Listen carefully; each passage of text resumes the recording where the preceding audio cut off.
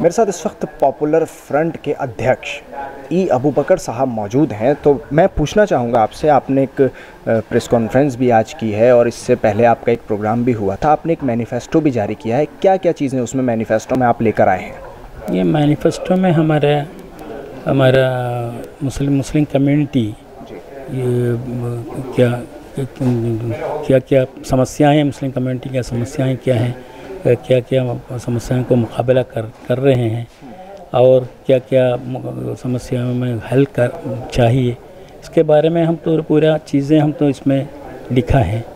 और इसमें सिक्योर हमारा security issues just like UAPA और एनकाउंटर किलिंग्स और ऐसा a lot of problems are we we we included all these kind of problems our our development, development pro- problems our educational problems this kind of our minority minority status के बारे में भी इसमें लिखा है जिस तरह से आपने सिक्योरिटी की बात की सुरक्षा की बात की मुसलमानों को लेकर क्या वजह है कि हुकूमत मुसलमानों की तरफ़ से अपना ध्यान हटाए हुए है उनकी सुरक्षा को लेकर? क्योंकि जिस तरह से हम देखें कि एनएसए के तहत अभी मध्य प्रदेश में भी कांग्रेस के वक्त में मुसलमान लड़कों को गिरफ़्तार कर लिया गया। ये ये है, इसमें क्या है, आजकल ये इलेक्शन इलेक्शन आने वाला है, इलेक्शन के करीब में भी ये लोग क्या है, ये हिंदुत्व हिंदुत्व, दोनों एक नरम हिंदुत्व बोल सकते क्या पता नहीं लेकिन एक काइंड ऑफ़ हिंदुत्व हिंदुत्व खेल खेलते हैं। और इसमें कांग्रेस और बीजेपी के दरमियान क्या एक, एक गोरक्षा के लिए कौन ज़्यादा बेहतर है? ऐसा एक झगड़ा चल रहे हैं। दोनों पार्टियों दोनों पार्टियों के बीच। ऐसा है। इसमें कांग्रेस कांग्रेस इससे इससे बाहर आना है और वापस लेना है। और अभी तक कांग्रेस ऐसा नहीं था लेकिन आज अभी इस माहौल में कांग्रेस एक हिंदुत्व कार्ड खेलने के शुरू किया है। इसके बारे में हम तो तो आप किस तरह से इस चीज़ को लेकर आगे बढ़ना चाहते हैं? क्योंकि 2019 का चुनाव है तो मुसलमानों में जागरूकता फैलाने की आप कोशिश भी कर रहे हैं तो किस तरह इसे लेकर आगे बढ़ेंगे? हम तो हम मैंने कहा एक एक सौ सौ कॉन्स्टिट्यूंसीज में हम एक क्रिएटिव इंटरवेंशन करेंगे। वहाँ हम बेदारी देंगे।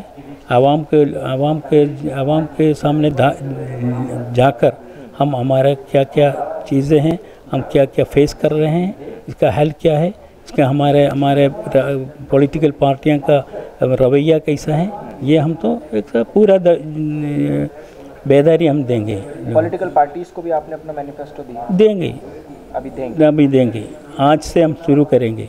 देने के काम। तो यानी आप कांग्रेस और बीजेपी को दोनों को ही मुसलमानों के हक में बेहतर नहीं समझते? नहीं नहीं ऐसा नहीं है। बीजेपी अलग है। बीजेपी के बाद पूरा कांग्रेस और दीगर सेकुलर पार्टियाँ हैं। ये सेकुलर पार्टियाँ हैं लेकिन ये लोग मजबूरन ये हिंदुत्व कार्ड खेलने का एक माहौल आ गया है। एक हेट पॉलिटिक्स का बहुत ज़्यादा फैलाया हुआ है यहाँ। हिंदुस्तान में बहुत ज़्यादा है। हेट पॉलिटिक्स का नफ़रत की सियासत का फैला है। इसमें इसमें ये लोग भी मजबूरन या जानबूझकर या नहीं पता नहीं इसमें भंस गया है ये लोग भी। इसमें इन, इन लोगों को हमारा हमारा ये- डेमोक्रेटिकल वैल्यूज़ और सेक्युलर वैल्यूज़ दिखाकर इसके सेक्युलर से लेकर ये हिंदुत्व पॉलिटिक्स को हटाना है। और और यहाँ से निकालना है। ये हमारा मुसलमान 2019 में किस तरफ़ जाता आपको नज़र आ रहा है? किसको वोट देगी मुस्लिम कम्युनिटी पूरी? क्योंकि एक बहुत बड़ी माइनॉरिटी है मुस्लिम। ये अब तो ये सेकुलर पार्टीज़ को देंगी। कौन सी सेकुलर पार्टीज़ है वो ये बहुत मुश्किल है लेकिन हम तो देख तय करना है। ये देखना है कैसा है। मुसलमानों के साथ साथ साथ कैसा है इन लोगों का रिस्पॉन्स कैसा है और लोगों का एटीट्यूड कैसा है ये देख कर ले देंगे। और उत्तर प्रदेश में जो गठबंधन है उसको किस तरह से देखते हैं आप? उत्तर प्रदेश में गठबंधन में भी कांग्रेस नहीं है। हैं। कांग्रेस नहीं है गठबंधन है। अब एक्चुअली क्या हो रहा है ये लोग बीजेपी को दिखाएँगे। बीजेपी आ रहे आ, आ जाएगा आ जाएगा आ जाएगा। डरा कर ये लोग ये हमारे वोट जमा करने के लिए एक कोशिश है। लेकिन जमा नहीं करेंगे। दो वोट कांग्रेस को दो वोट एसपी दो वोट बीएसपी दो वोट दूसरा पार्टी ऐसा वो तो हमारा दस वोट है तो दो दो दो दो ये तकसीम होकर आ जाएगा।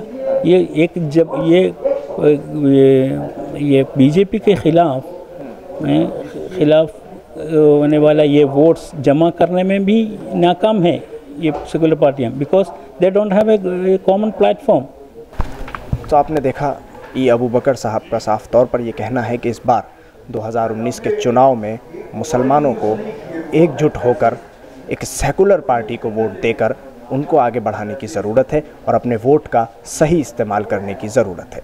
दिल्ली से कैमरा पर्सन ताविश अली के साथ न्यूज़ मैक्स के लिए साहिल नकवी।